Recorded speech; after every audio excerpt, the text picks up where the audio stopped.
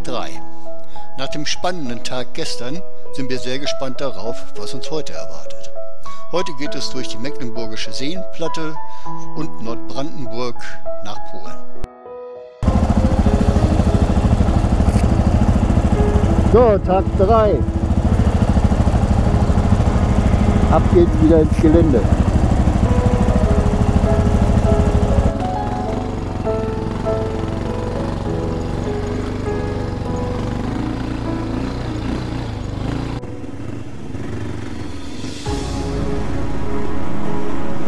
Was für ein Anfang. Der Weg war frisch gegrubbert und das war richtig tiefer, weicher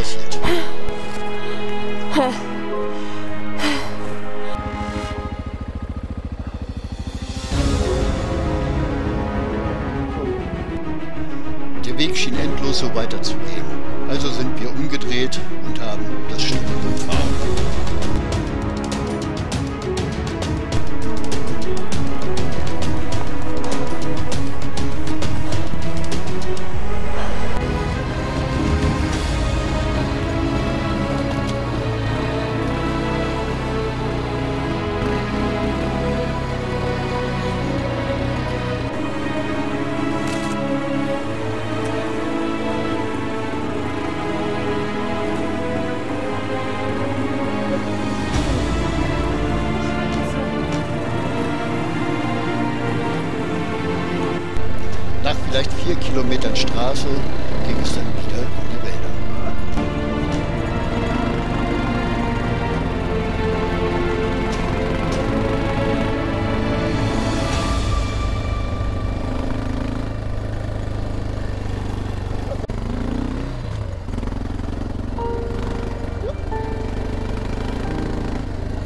Oh, hier ein Riesenhaufen Scheiße. Ach nee, doch, nee, doch,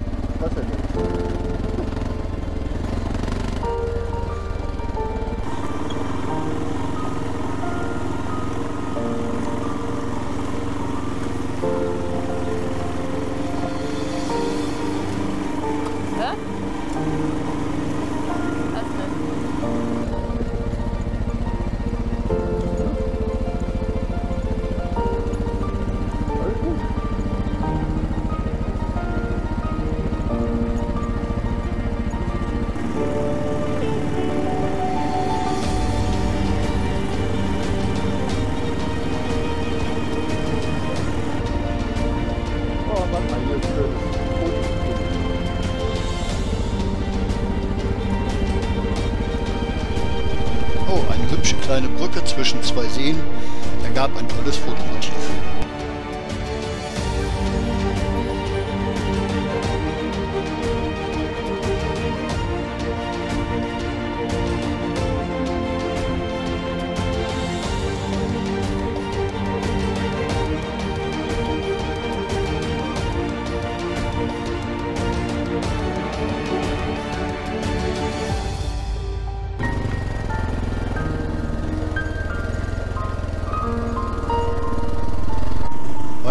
Weiter ging es über diesen Single Trail, der am Ende noch an ein paar Häusern und Schrebergärten vorbeiführt.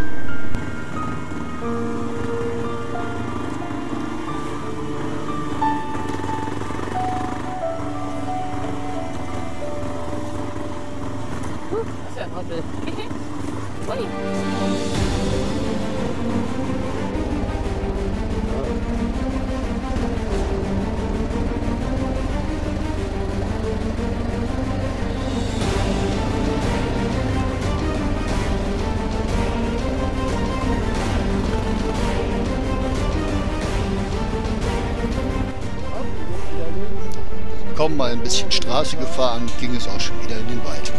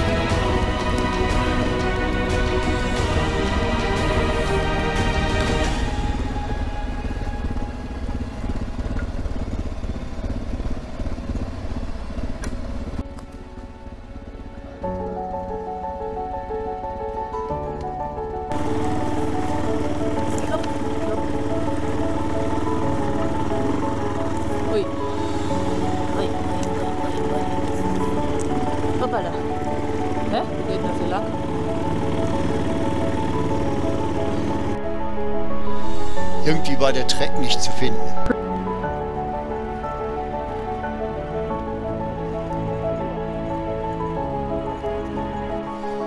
Kommst du auch nicht runter. Pass auf. Nee. Wir fahren so und dann müssen wir so, da oben hoch.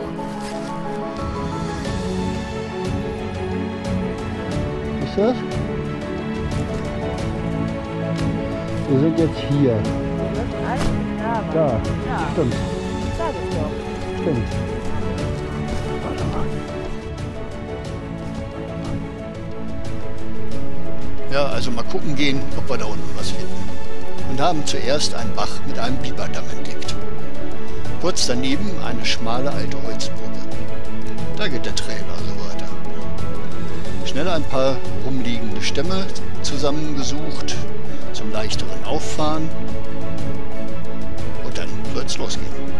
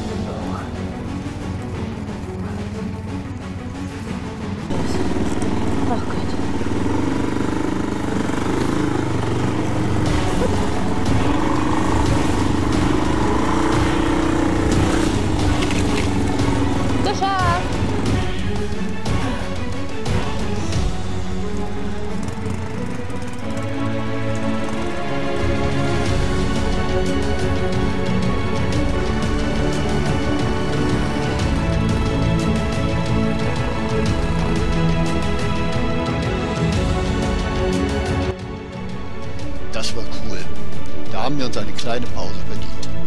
Und ein Wechsel von durchgeschwitztem Shirt musste auch sein.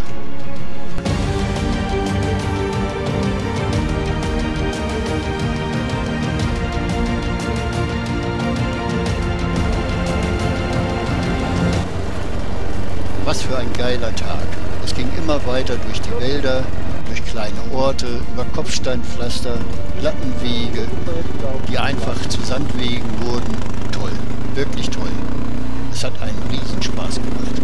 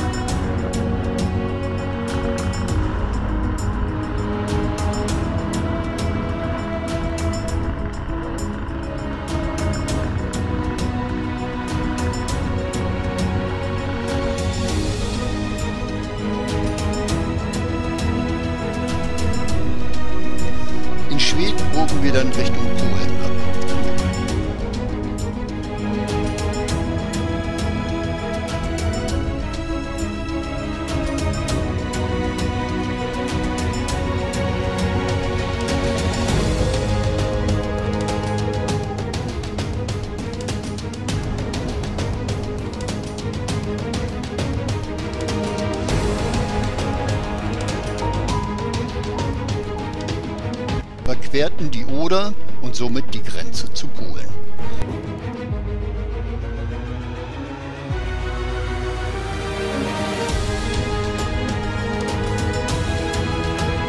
Fuhren noch die 20 Kilometer bis zu unserer Unterkunft in Scheuna. Was für ein geiler Tag auf dem TET Deutschland. Morgen geht's auf den TET Polen weiter, immer nach Osten. Tag 4. Nachdem wir gestern die Grenze zu Polen passiert haben, geht es ab jetzt auf dem TET Polen. Wir fahren den Nordabschnitt bis an die litauische Grenze. Heute sollen es 254 Kilometer von Scheuna bis nach Sloto werden.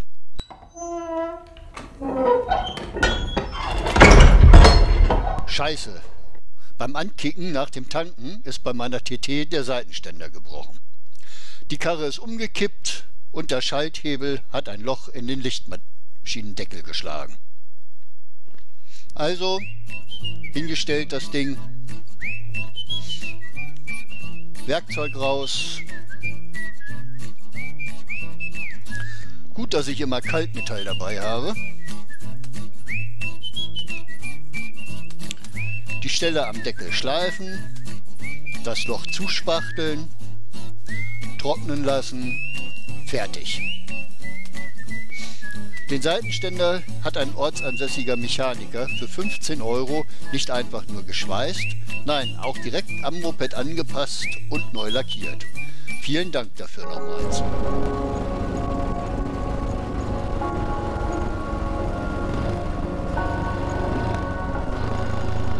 Kurze Zeit später waren wir wieder unterwegs. Und typisch für Polen ging es außerhalb von Wald- und Feldwegen über endloses Kopfsteinpflaster.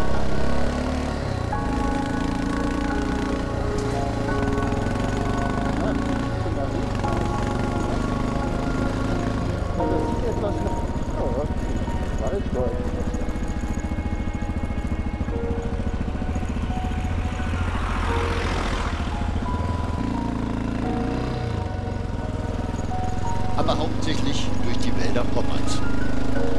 muss die letzten Tage hier noch ordentlich geregnet haben, denn es sollte teilweise richtig matschig werden.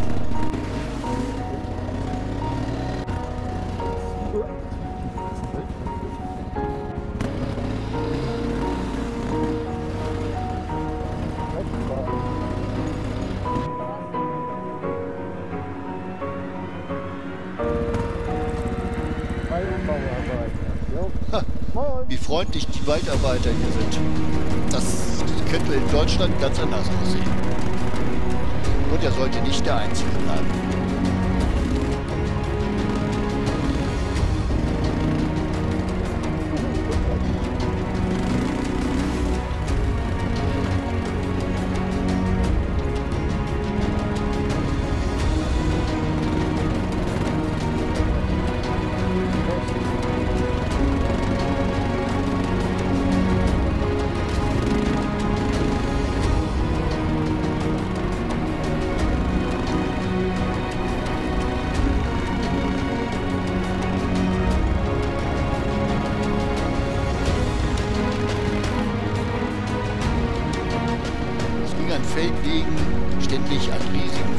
Vorbei.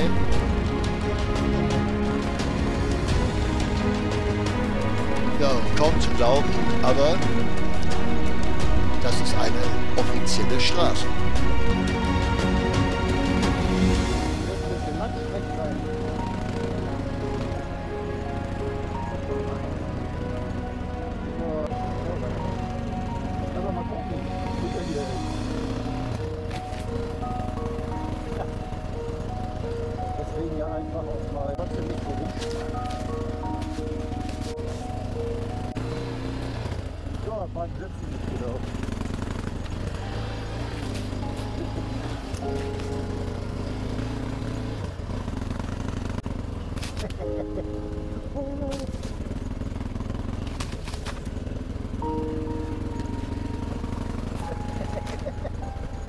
Mal gut, dass ich meine Brille aufgesetzt habe.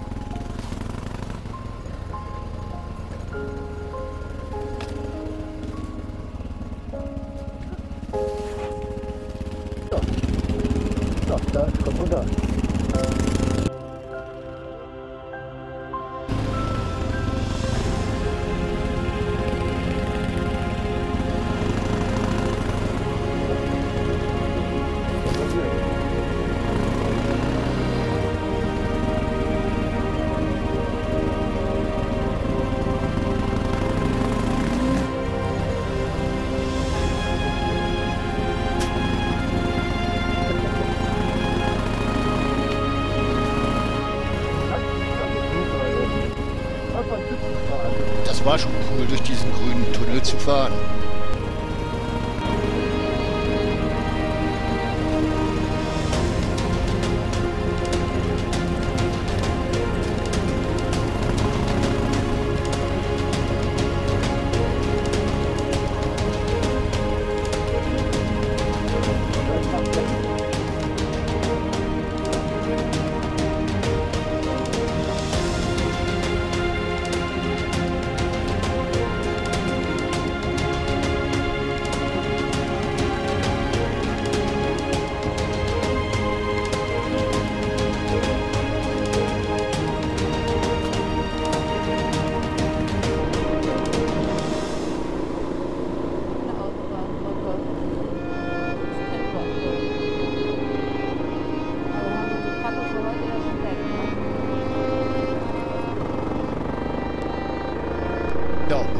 Nichts sind plötzlich diese tolle Straße.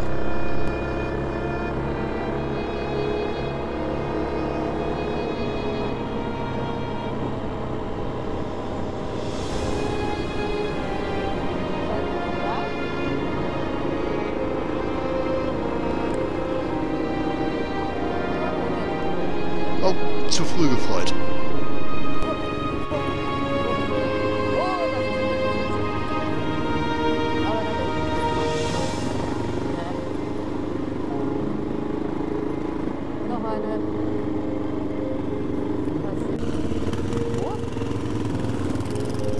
Und dann das Übliche.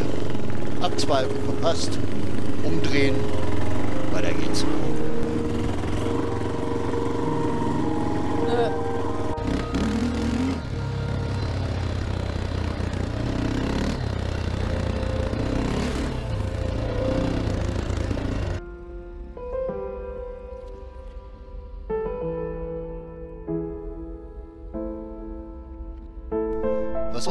Wäldern Polens sehr gefallen hat, war das Abwechslungsreiche.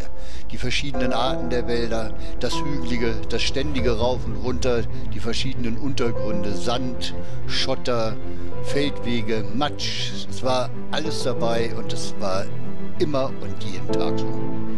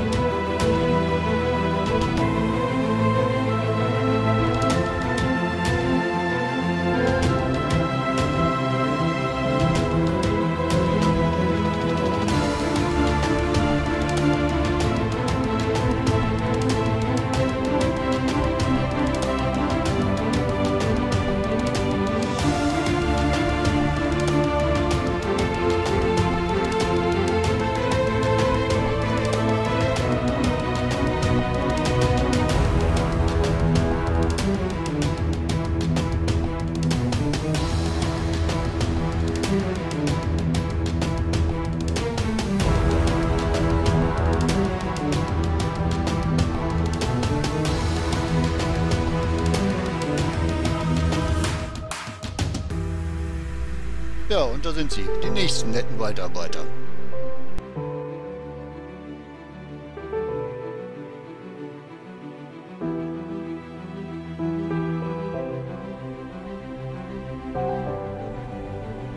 Und wieder über endloses Kopfsteinpflaster. Aber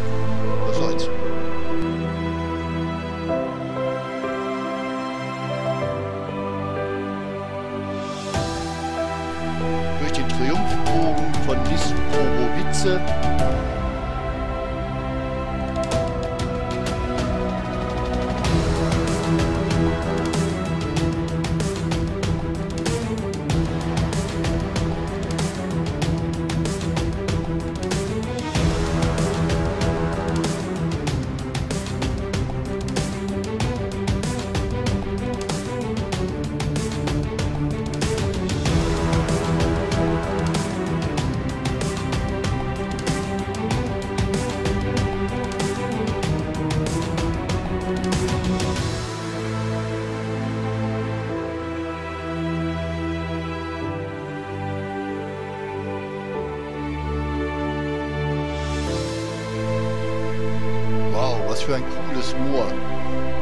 Gleich mal anhalten und noch ein paar Fotos machen.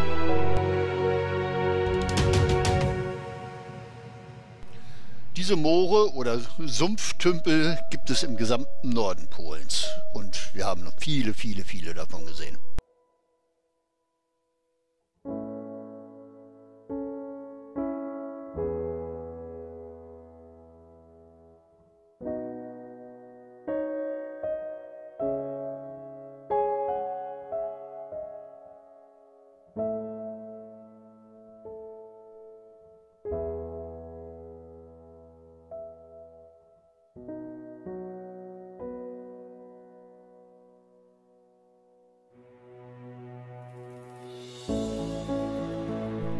Eine kurze Rast an einem der vielen großen und zahllosen Seen.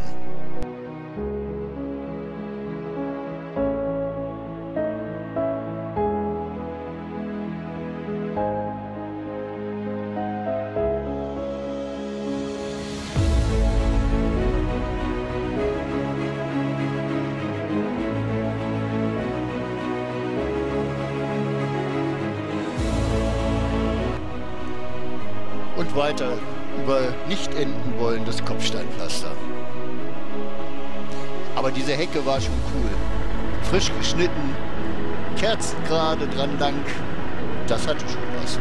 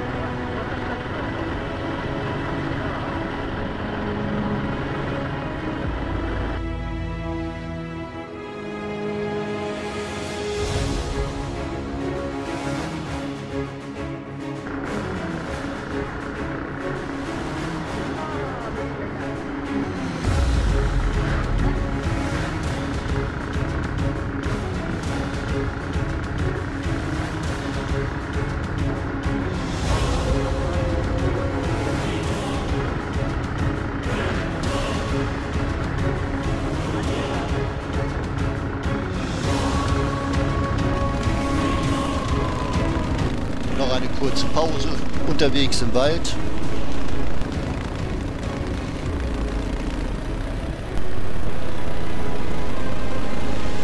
Die Überreste eines Abenteurers lange vor unserer Zeit.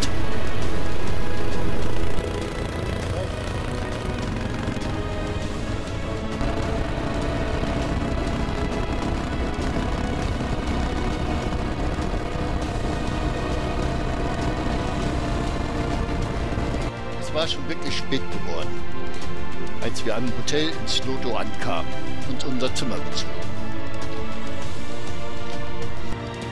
Bei einem super leckeren Cordon Bleu und Bier den Tag ausklingen ließen.